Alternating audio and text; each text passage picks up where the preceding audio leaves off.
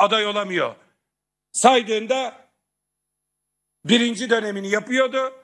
Değişiklikten sonra ikinci dönemi erken seçim olursa aday olur.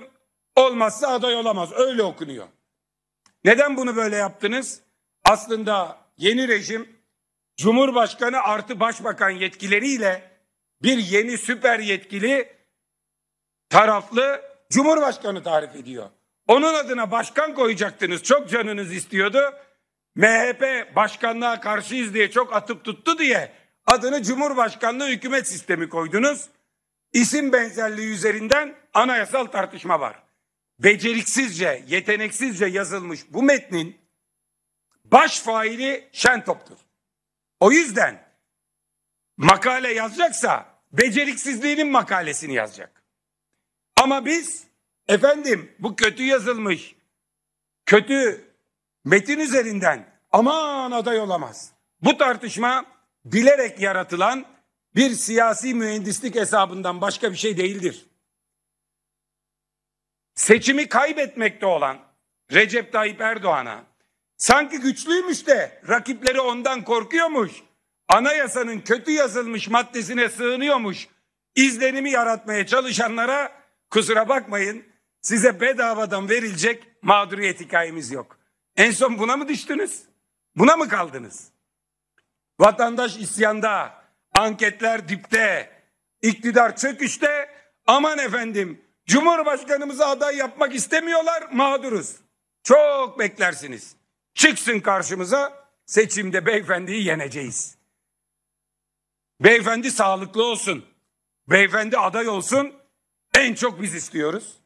Beyefendiyi seçimde çatır çatır yenip milletin yüzünü güldüreceğiz. Cumhuriyetin ikinci yüzyılını, birinci yüzyılını başlatanlar başlatacak. Süleyman Bey ikinci yüzyıla çağrı beyannamesinden ne kadar tedirgin olduysa orada burada Cumhuriyetin ikinci yüzyılı demeye başladı. Atatürk'le, silah arkadaşlarıyla aralarında sorun olanlar onlara tek parti rejimi diye CHP dönemi diye laf atanlar Atatürk'e zerre muhabbet besleyen ne ölüme ne dirme diyen Fesli Deli Kadir'in hastanesine cenazesine koşturarak gidenlerin Cumhuriyet'in ikinci yüzyılı ile ilgili bir hedefleri olamaz. O hedef bu ülkede Atatürk'ü gerçekten seven 84 milyon vatandaşın ortak hedefidir.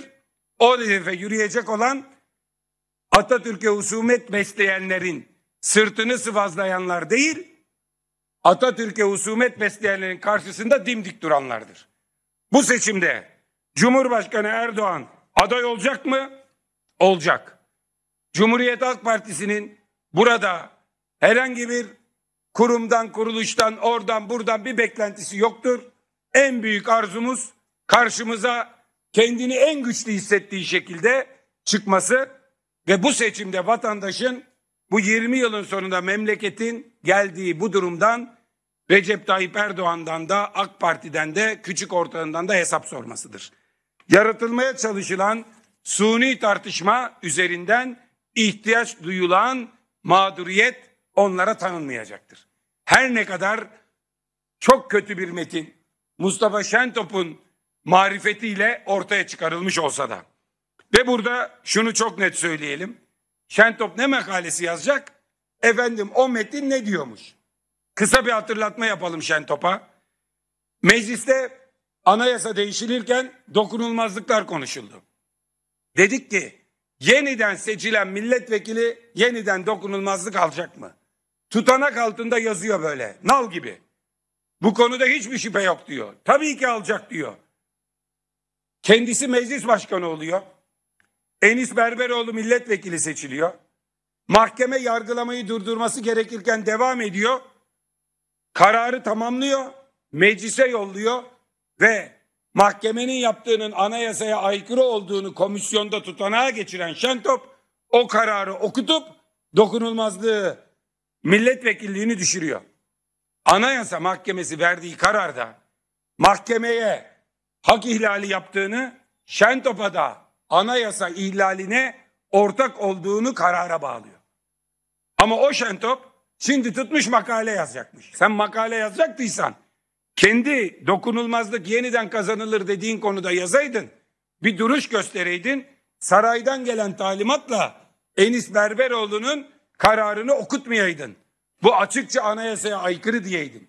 Bunu diyememiş bir şentopun şimdi Tayyip Erdoğan için makale yazmaya kalkışmasının bilimsel olarak da vicdani olarak da siyasi olarak da hiçbir değeri yoktur.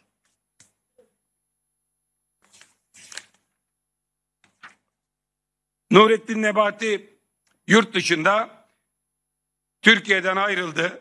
Gözlerinin ışıltısından ülkeyi mahrum etmiş durumda ve faiz lobilerinin başkenti Londra'ya gitti.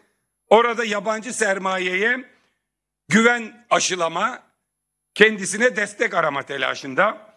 O bitince Uzak Asya turuna çıkacak. O bitince Körfez turu yapacak. En sonunda yeniden bir Londra'ya uğrayacakmış. Yerli ve milli ekonomi modeli bu. Türkiye modeli bu. Bize dış güçler saldırıyor, dış güçler saldırıyor diye ekonomi yönetenlerin dış güçlerin peşinde nasıl dolaştığı, körfeze nasıl umut bağladığı, uzak doğuda ve özellikle Londra'da güven bulmaya çalıştığını bütün vatandaşlarımıza bir kez daha gösteriyoruz. Ve bıraksınlar bu masalları.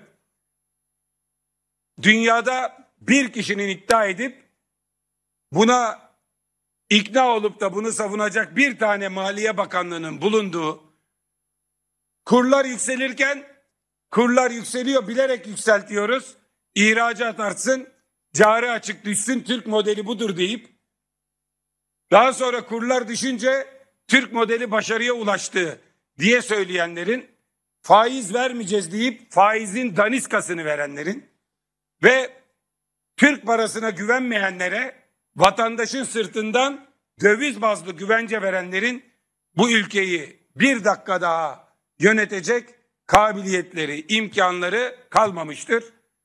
Faiz lobilerinde güven arayanlara vatandaşın güveni sıfırdır. Türkiye'ye de dünyaya da güven verecek şey vatandaşın önüne zaman geçirilmeden sandığın konmasıdır. Sandıkta Adalet ve Kalkınma Partisi'nin paketlenip gönderilmesi en güvendiğimiz ekonomi paketidir. O günden sonra faiz de düşecektir, döviz de düşecektir, güven de artacaktır, vatandaşın yüzü de gülecektir. Onun dışında sadece Nebati'nin yüzü gülmekte, milyonlar açlıkla pençeleşmektedir. Benim söyleyeceklerim bu kadar. Soru varsa yanıtlayabilirim arkadaşlar.